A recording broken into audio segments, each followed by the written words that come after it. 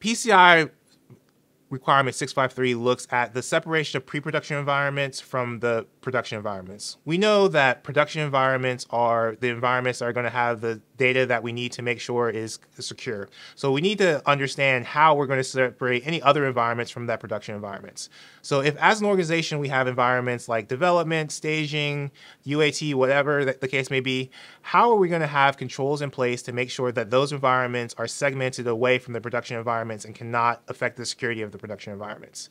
So as an auditors, we're going to come in and look at several different things. We're going to be looking at your access control systems. We're going to be looking at your network. We're also going to be looking at your policies and procedures that are going to be defining what the segmentation in place needs to be.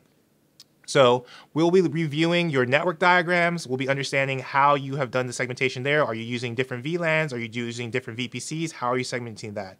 We're going to be looking at access control. Are you using completely separate Active Directory environments to only have users that are in one Active Directory environment being able to access one environment and users in another Active Directory environment being able to access your production environment.